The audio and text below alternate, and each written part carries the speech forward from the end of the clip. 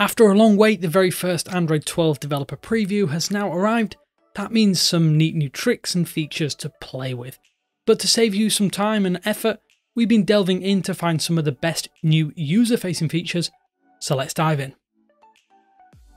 Thanks for watching 9to5 Google here on YouTube. Remember to thumbs up, hit subscribe, and then tap the bell icon to be among the first to watch our upcoming videos. Before we really kick things off, there are some features that you can access with a little technical know-how, but all we're here to do is to show you completely user-facing features, meaning that if you are happy to install what is a fairly buggy build of Android 12, then you can enjoy them right out of the gate. Although because this is a developer focused build after all, we do not recommend that you install this on your main or default device. Please only sideload the Android 12 developer previews on a secondary smartphone if you have one. A proper public facing Android 12 beta is set to kick off in a few months that will be far more stable and suitable for everyday usage. But without any further messing around, here are the top new user facing features in the first Android 12 developer preview. Clearly one of the big areas that Google plans to improve upon in the next Android iteration is the media department as this first developer build includes a brand new UI for the media player with some associated enhancements.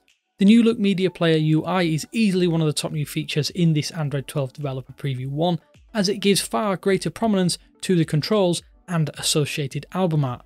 The player has changed on both the lock screen and when using the quick settings or notification panel with a larger overall size and easier to manage controls.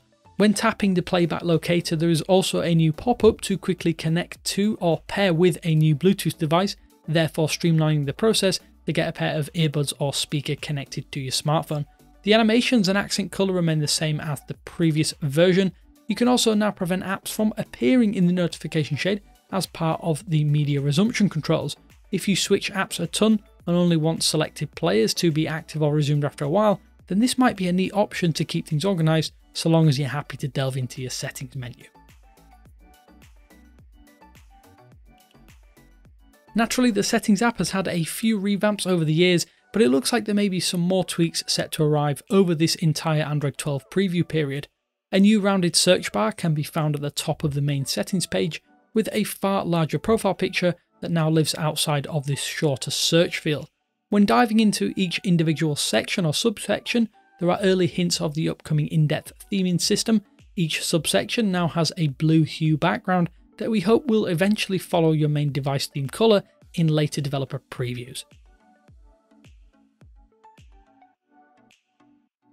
A minor but admittedly notable new feature that you might notice right away is the new pill-shaped activation toggles for options within that settings menu. It's far clearer if an option has been toggled, but there are some vibes of macOS with each individual switch. Is this a game-changing feature within the first Android 12 developer preview? No, but it is likely evidence of some more changes set to arrive as part of the new settings UI as more updates arrive in the coming months. Another very minor change of this developer preview is the slightly elongated app shortcut menus. That means when tapping and holding an app icon on your home screen, you might notice that the pop-up is ever so slightly larger than in previous builds.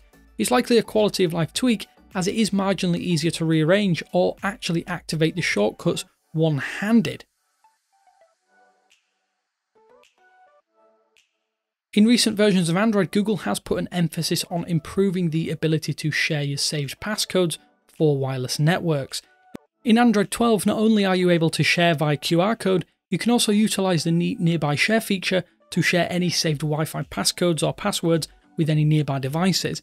Google has simply added a nearby share toggle to the Wi-Fi password screen, meaning that if you dig into a network's specific settings and tap the share button, you'll see a dedicated button for nearby share which on tapping will allow users to quickly share the SID and password of a network to other Android users in the vicinity with relative ease.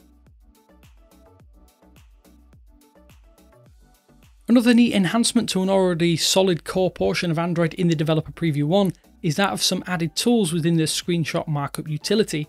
The first change to the screenshotting experience sees users no longer able to tap an X to remove the bottom left corner notification. Instead, users can clear by swiping right to left. You can also add text for the first time with 7 colours to choose from and a simple pinch in and out motion for changing font size in a similar manner to that of Snapchat. You can also add emoji as stickers, which again can be resized, adding a fun layer to the standard screenshot tool among some other powerful options that are already present. It wouldn't be an Android developer preview if Google didn't make some more notification shade tweaks yet again. This time the notification shade is far more transparent and there are some notable changes about how notifications look and feel. Google has increased the size of apps within the notification shade with larger fonts and profile images also bumped where they are used. There is some spacing between the top of the notification shade and your quick settings toggles, which we must admit can feel cramped with the time, date and status bar icons present. There's also a new neat little clock icon that quickly launches the snooze menu for notifications themselves, which is far easier than having to half swipe a notification to activate. The first tap immediately snoozes for an hour, while the expanded menu offers the added time limit. Last year with the launch of the Pixel 5, Google introduced a new feature to the stock Pixel launcher, adding the ability to adjust the grid size of your home screen. At the time, the only available options were symmetrical or perhaps square, the choices being 2x2, 3x3, 4x4 and 5x5, which is the default. For those wanting added customization options, the Android 12 Developer Preview 1 adds another option for the grid choices, 4x5. Specifically, that means 4 spaces across and 5 spaces down.